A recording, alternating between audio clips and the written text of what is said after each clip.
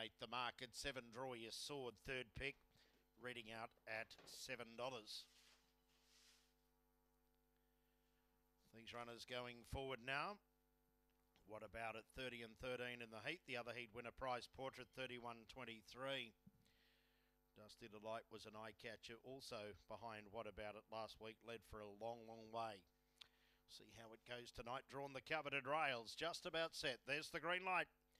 The maiden final, favourite three. What about it into a dollar ninety? They're set.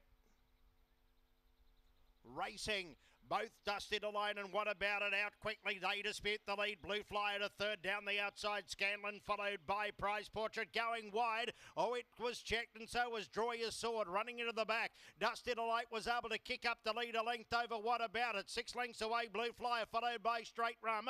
A break to Mar Vista and Scanlon down the side. Dusty Delight still a length in front. Sticking to the inside was What About It. It's in front. Dusty Delight. What About It? Knuckling down now. Kicking Dusty Delight. I think Dusty Delight knows what about it. Third home was Blue Flyer.